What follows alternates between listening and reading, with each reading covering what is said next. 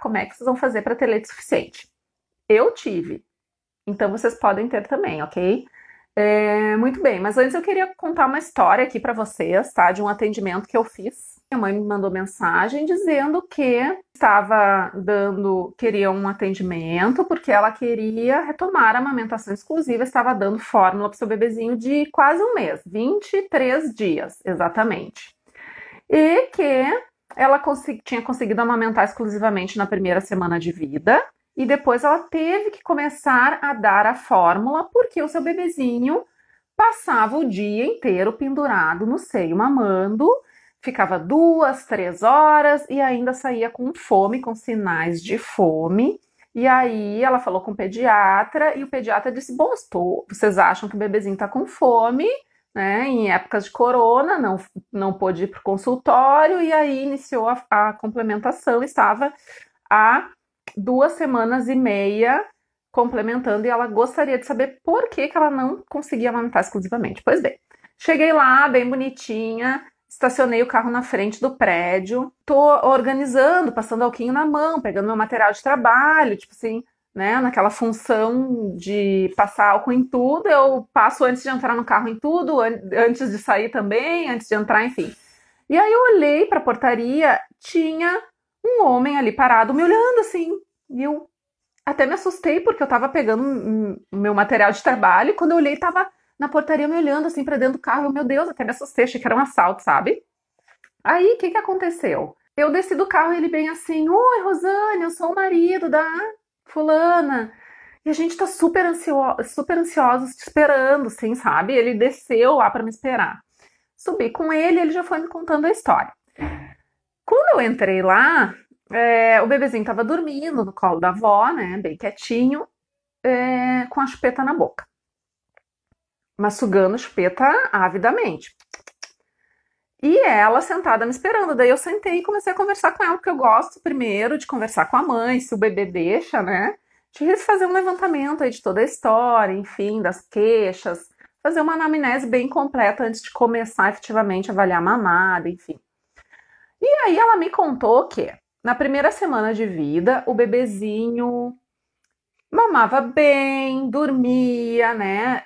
O que ela julgava mamar bem. Mamava por um tempo específico ali, né? Mamadas de até meia hora, daí depois o bebezinho largava, mostrando satisfação, dormia bem, em torno de duas horas, fazia xixi, cocô normalmente, foi na primeira consulta com o pediatra, pesaram, ele tinha ganho uma média de 40 gramas por dia, o que é uma média excelente, porque o bebezinho que mama no peito ganha em média de 20 a 30 gramas por dia, a partir do terceiro dia de vida ali, que é onde ele, é, é nos primeiros três dias, ele tem uma perda de peso de nascimento de em torno de 10%. O que, que aconteceu daí na sequência? Esse bebezinho Possivelmente acordou para o mundo e começou a fazer mamadas mais longas, com intervalos mais curtos. E ela começou a ficar nervosa em relação a essa situação, achando que aquilo ali não estava normal, que talvez ela não estava produzindo leite suficiente para o seu bebezinho, e ela começou a ficar nervosa com aquela situação, por acreditar que estava faltando leite, que tinha mudado aquele comportamento daquele bebê da primeira semana de vida. E aí ela começou a ficar muito ansiosa, muito nervosa, ela não conseguia mais dormir. E aí ela entrou num ciclo tão grande de estresse, tá? Que que que aconteceu? Esse fluxo de leite começou a diminuir por conta de todo esse estresse. Eu quero falar aqui hoje para você sobre a fisiologia da lactação, como que se dá a produção e fluxo de leite. E o que, que aconteceu? Esse bebezinho, essa mãe estressada, é, por não conhecer também essa dinâmica de amamentação em livre demanda, começou a ficar estressada porque o seu bebezinho mudou padrão, começou a não dormir bem, a ficar cansada, o fluxo diminuiu e, obviamente, o bebezinho sente e fica mais tempo no peito porque o fluxo está diminuído. E aí, de fato, esse bebezinho por dois dias ficou pendurado 24 horas, pelo que ela me relatou. E aí foi onde ela começou a dar fórmula e percebeu que ela dava o peito, logo depois ela dava a mamadeira com fórmula, e aí o bebezinho voltou a dormir por duas horas ininterruptas até três.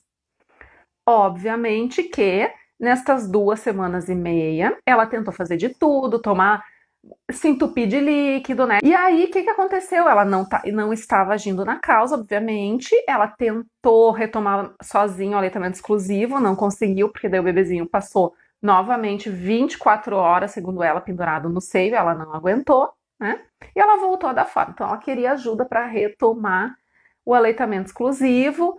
E aí, o que, que aconteceu? Junto com a mamadeira, entrou a chupeta também, entrou uma série de fatores que acabam impactando na produção de leite, ok?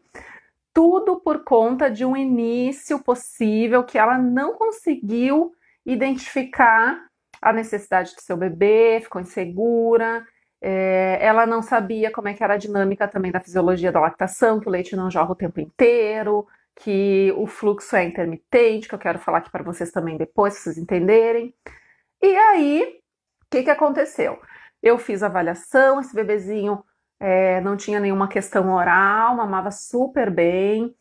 A gente fez ajustes de posicionamento, de pega, de sucção, troca de seio, compressão das mamas e, de fato, a produção dela estava diminuída. Por quê? Porque duas semanas e meia ela manteve estresse super alto, baixo fluxo. Com isso, o bebê não fazia mamadas eficientes, não fazia remoção adequada do leite, as glândulas foram diminuindo a sua produção, e para diminuir produção é rapidinho, meninas, não é assim, ó. Ah, não, eu tô estressada hoje, amanhã, depois uma semana e tá tudo certo aqui com o meu corpo.